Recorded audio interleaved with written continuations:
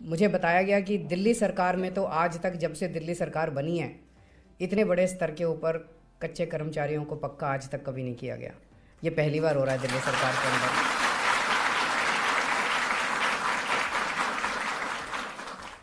और शायद देश के अंदर भी, अभी आजकल सारी की सारी हवा, सारे का सारा आबा पूरा उल्टी डायरेक्शन में जा रहा है कि पक्के कर्मचारियों को कम करते जाओ और कच्चे कर्मचारियों को बढ़ाते जाओ।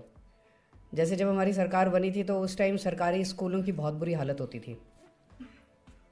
और पूरे देश में ये माहौल था कि सरकारी स्कूल अब बंद करो, उनको प्राइवेटाइज कर दो प्राइवेट कंपनियों को दे दो कॉरपोरेट्स को दे दो, वो चलाएँगे। सरकार स्कूल नहीं चला सकती। प्राइवेट अस्पताल बंद करो, सरकारी अस्पतालों को प्राइवेट वालों को दे दो, सरकार अस्पताल नहीं चला सकती।